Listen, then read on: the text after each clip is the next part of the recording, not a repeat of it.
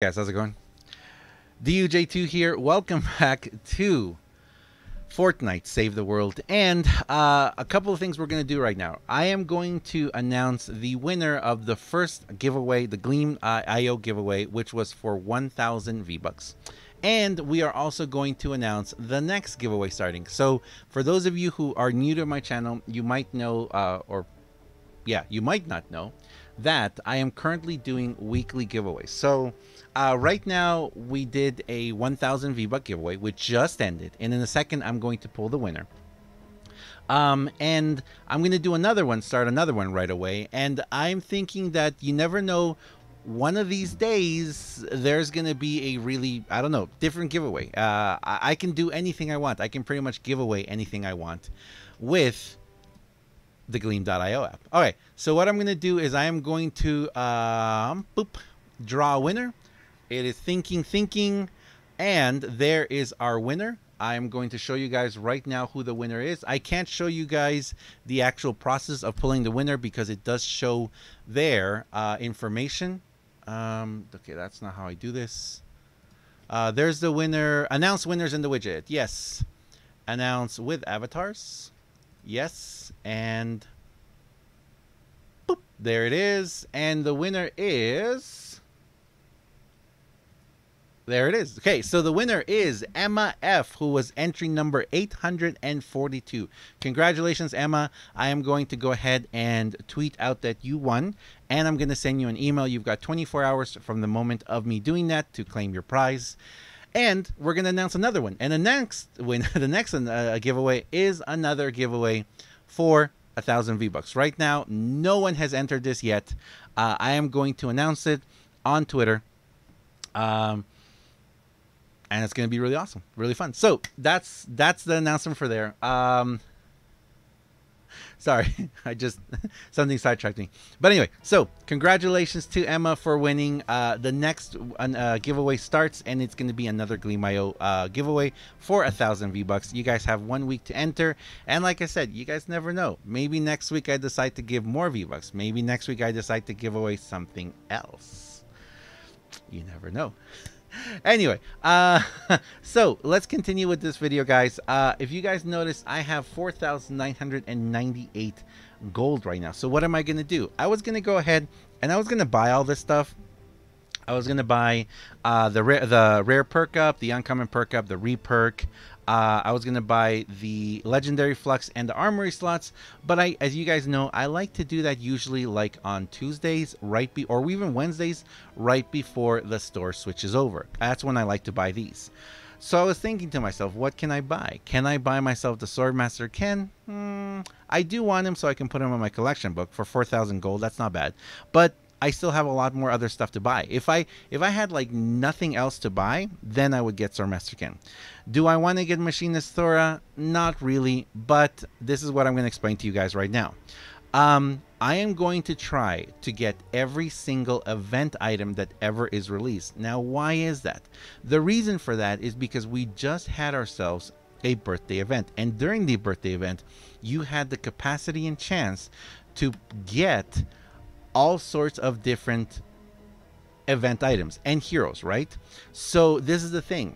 If you really want something, because what's going to happen again, I'm sure there's going to be another birthday llama or something else in the future where we're going to be able to get previous event items. So for me to increase the chances of me getting the stuff I still don't have, I am going to focus on working really, really hard on purchasing the stuff while I still can. So I'm gonna try and get Machinist Doris before the before.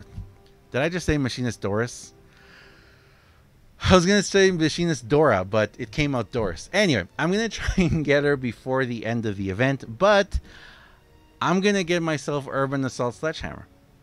Um, yes, I just did that. So for those of you who don't know why I'm getting him, uh, I'm gonna be I'm purchasing him now because um I you you convinced me. Okay, you guys have convinced me. All right, you guys have convinced me. Um, I, I just I'm gonna try him out. I'm gonna try him out. Yes, he is an urban assault. Uh, he looks so. Wait, can I? Oh yeah, you can. Oh, cool. That is so cool. Wow. That is awesome. And he's over to the side too. That's really cool. Huh. That's awesome. I, I was not expecting that. That's really cool. I like that. Um, but anyway, so yes, we got to get a couple screenshots. Uh, and the other thing I'm going to be getting is I am going to be getting the Walloper. So, um, for those of you out there who have told me over and over again, you got to get the Walloper, you got to get the Walloper. I agree. I agree because the Walloper does seem to be a pretty awesome weapon. Uh, I have seen the Walloper in action a little bit, uh, and I gotta tell you, I, I'm impressed. Okay, I, I am very impressed at the, what the Walloper can do, and equally, I kind of feel like a lot of these weapons they have a little something extra. They have a little something extra that I feel is kind of hidden. And we're not really going to find out the benefits of a lot of these new weapons until they are gone not this one. Um, where's my fish hook I want to look at the fish hook too. The fish hook is kind of another very interesting one. So, just to show you guys, if you guys look at these items, look at the fact, I mean, it has flintlock on it, right? So, it's it's a, it has an explosion. It it's it's like it's like a gun. I'm kind of wondering what is going to happen. I'm wondering if these weapons are going to unlock something else in the near future. I'm really wondering about that. Okay, so what we're gonna do right now is let's see how many much we have. I have I have 370,000 hero experience. Oh, that's barely enough to get him all the way up. I'm not going to work on him yet. I'm not going to work on him yet. And yes, for those of you who have said, um, a lot of people were telling me you could just use where is he? Uh, was yeah, Skull Trooper Jonesy is the same thing. He's Urban Assault. Yeah, he's Urban Assault. So Skull Trooper Jonesy is also Urban Assault. And again, guys, if for some reason you don't have the gold or you can't get him, uh, always go into your collection book. Always go into your collection book because chances are that you're going to see someone else who has the exact same. So Urban Assault Headhunter has the exact same stats. Um, at that point, though, it just becomes a thing of personal taste if you want to look different, uh, which is something that I really like doing in this game. Uh, I like the fact that we have different skins or different characters who have the exact same qualities of other ones, you know?